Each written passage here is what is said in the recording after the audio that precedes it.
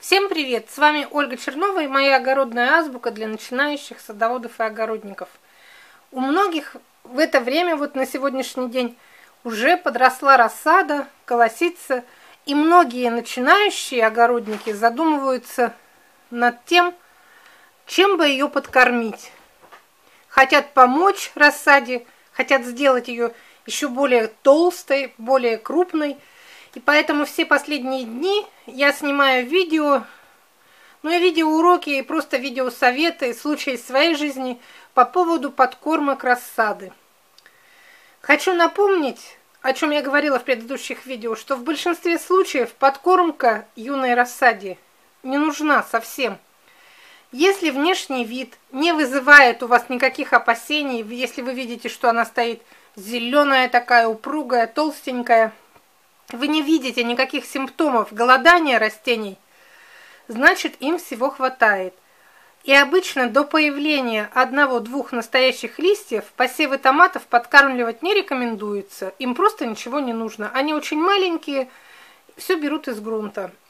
И в предыдущих видео я рассказывала, что если вы провели посевы в питательный грунт, во время пикировки заменили его на новый грунт, если еще добавили немного органики – то, скорее всего, подкормка вашей рассаде не понадобится до самой высадки в грунт. Вот я не подкармливаю, потому что я грунт каждый раз новый. Я вот посеяла в один грунт, потом при пикировке заменила его на свежий, добавила золы. И я не подкармливаю, только опрыскивание. Опять же, когда я снимала видео, чем подкормить рассаду, я рассказывала о том, что удобрения бывают разные – это мы уже сейчас будем разговаривать о тех случаях, когда вы все-таки увидели, что не нравится вам внешний вид рассады, и все-таки решили подкормить немного свою рассаду. Я вот уже мельком, там, краем так проходилась по этой теме, рассказывала, что удобрения бывают минеральные и органические, разделяются на комплексные и однокомпонентные, и о том, что рассаду на раннем сроке чаще всего подкармливают – именно комплексными удобрениями, то есть содержащими и азот, и фосфор, и калий. Их называют НПК.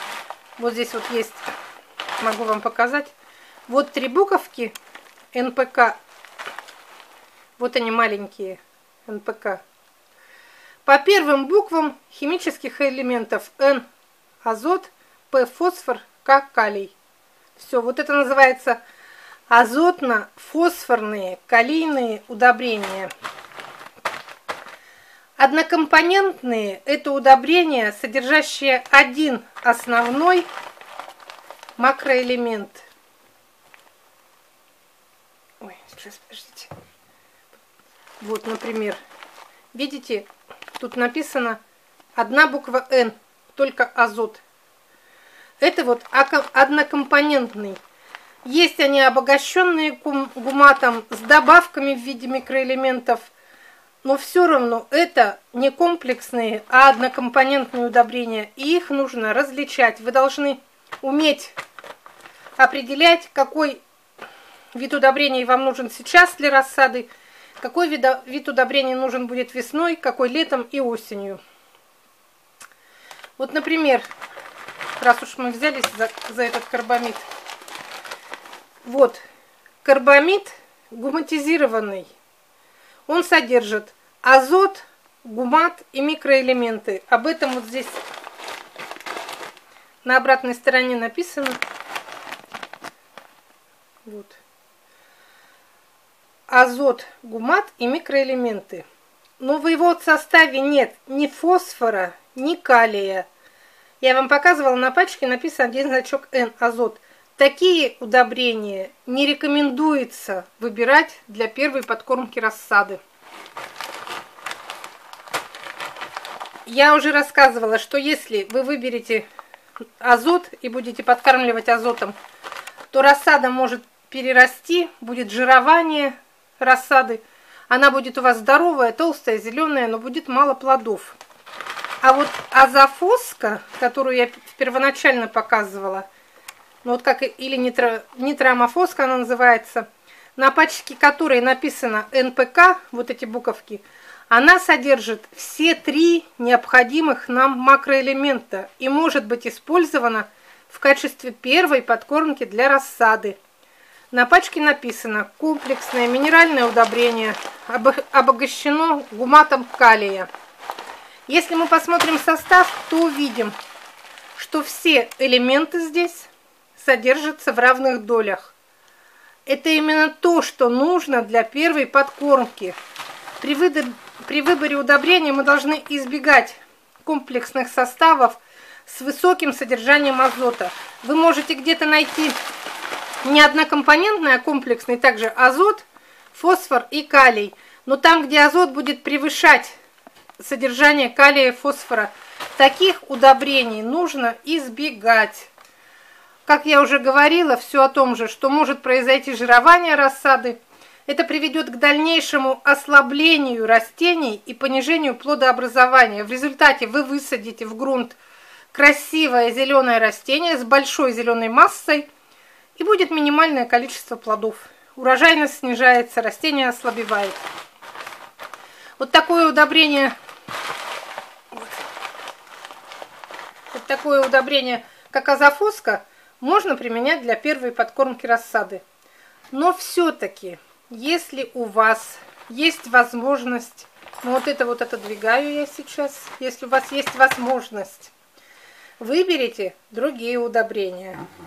Ведь наилучшим вариантом комплексного удобрения для молодой рассады все-таки являются жидкие гуминовые удобрения.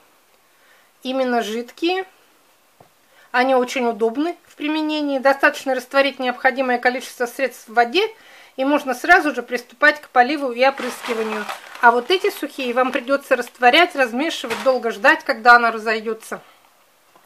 Вот на сегодняшний день торговые сети предлагают нам огромное количество таких удобрений, вот таких вот жидких, гуминовых.